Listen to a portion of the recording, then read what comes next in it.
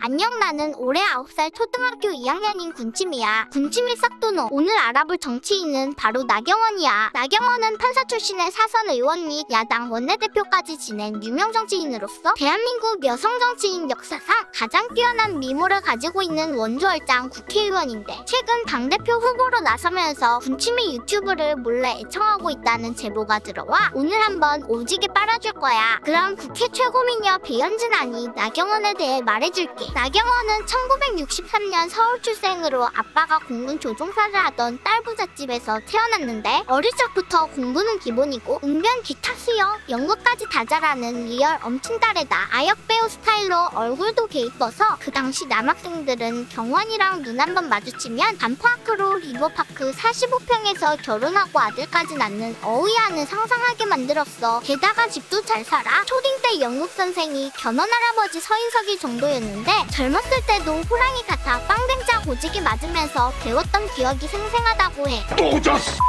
학창 시절 성격이 숙맥이었던 경원이는 전형적인 모범생 테크를 타며 안녕하세요. 서울대 법대를 지나 거기서도 킹카라 불리며 캠퍼스를 점령했는데 당시 서울대 최고 킹카는 경원이었고 남자는 general 킹과 조국 선생이었는데 당시 조 선생은 그때도 공부 안 하고 데모질하러 싸돌아다녔지만 경원이가 노트 필기를 자주 빌려줘 겨우 졸업할 수 있었대. 경원이 대학 시절 인생 사진하면 테니스 사진과 전설의 서울대 82학번 MT 사진을 빼놓을 수가 없는데 공통점 은 항상 남학생들에게 둘러싸여 즐거워하는 모습이라는 건데 당시 전국 수석이었던 한 여학생과 비교샷을 보면 좌파우파는 날 때부터 정해지는 건가 봐.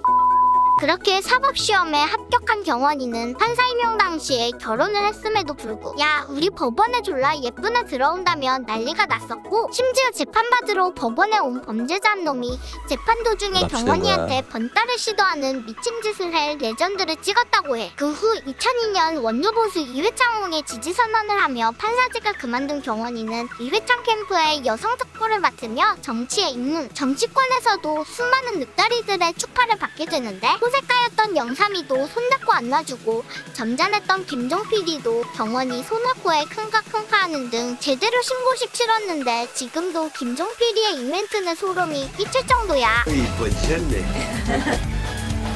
긴, 긴장하고 있고 괜찮은데.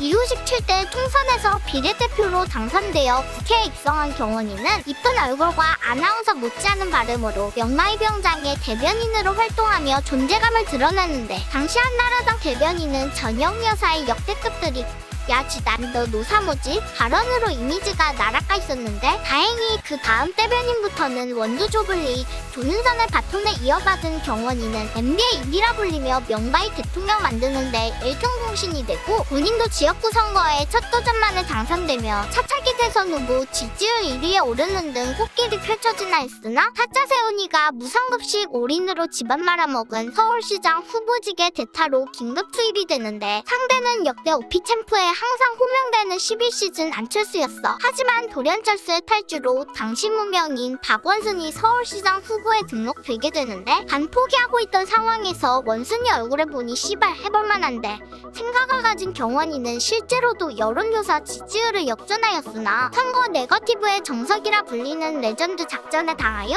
선거를 지고 말았는데 그건 바로 나경원 피부과 1억 루머였어. 경원이의 고운 얼굴의 비결이 서울 강남의 연회비 1억짜리 피부과에 다니기 때문이라는 루머가 퍼졌는데 때마침 보적부가 발동한 여성 유권자들도 아 저 강남 피부과에서 나경원 본 적 있어요.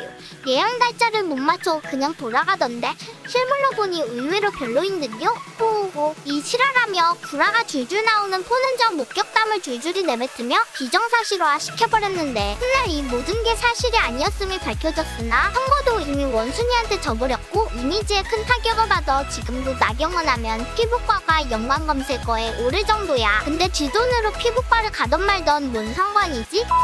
그렇게 다음 국회의원 선거에 출마도 못한 경원이는 정몽준 의원의 서울시장 출마로 인해 공석이 돼버린 동작구 재보궐 선거에 Mr. Butterfly 노회찬과 붙게 되었는데 단 929표 차이의 쫄깃한 승부 끝에 신승을 거두며 정치적 재기에 성공했어. 재기에 성공한 경원이는 여세를 몰아 사 선까지 도전하는데 그녀의 강력한 포스로 인해 민주당은 공문서 위반 및 음주운전 경력에 전과 4범 허동준 후보를 공천하여 어차피 안 될 거 그냥 포기를 해버려. 그렇게 가볍게 사선이 된 경원이지만 그 당시 그네의 탄핵으로 바른미래당계가 대거 탈당하며 찬탄파인 경원이도 같이 나가자 하였으나 바람 피웠다고 이혼해주면 남편만 좋은 거 아니냐라며 당에 남으며 동거타다가 자유한국당 원내대표를 맡으며 한 번 더 떡상하게 되는데 연동형 비 례대표제와 패스트트랙 정국 당 시 교섭단체 대표 연설에서 하드캐리를 해버려 북한에 대해 밑도 끝도 없는 옹호와 대변 이제는 부끄럽습니다. 더 이상 대한민국 대통령이 김정은 수석 대변인이라는 낯 뜨거운 이야기를 듣지 않게 해 주십시오.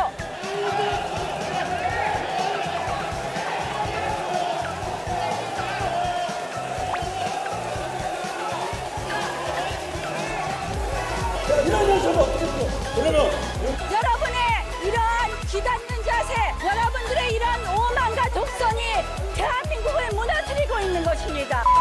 당신같이 맨날 당하고만 있던 한국당의 오랜만의 반격이었다 좋아했지만 결국 패스트트랙을 막지 못하여 물러나게 된 경원이는 21대 총선에서 다시 한번 동작구에 공천되어 자신감을 드러냈지만 듣보잡인 초선 이수진 후보에게 처발리며 한국 당내 여성 최다선인 그녀의 신화도 끝나버리고 말았는데 원내대표를 하며 소비해버린 정치력 때문에 예전 엘리트 이미지가 없어졌다는 게 가장 큰 패인이었어. 어느덧 60이 된 그녀는 이제 외모 buff는 없다고 판단. 아내의 맛에 출연하여 화제가 되었는데 장애가 있는 딸과의 따뜻한 일상을 보여주며 이미지 변신에 성공하였으나 이번 서울시장 보궐선거에 오세훈에게 밀려 경선에서 또 탈락을 하고 말어. 사실 경환이는 그 흔한 선거법 위반 한번 한적 없이 정치를 하였지만 좌파나 중도층에게는 세상 상면으로 불리는 네거티브의 최대 피해자인데 그 상징적인 별명이 나경원과 아베 합성어인 나베와 나경원과 자위대의 합성어인 나자위가 있어. 이렇게 불린 이유는 예전 초선의원일 때 일본 자위대 창립기념 행사에 참석한 게 논란이 된 것인데 이것도 사실 당의 대표 성격으로 당시 열린민주당 신중식 의원과 다 같이 참여한 것이었는데 경원이한테만 개질하라는 거 보면 이 씨발년들이 괜히 얼굴 이쁘니까 쌤나서 담궜다는 게 학계의 정확한 평 가야. 진짜 얼굴이 이건 아니야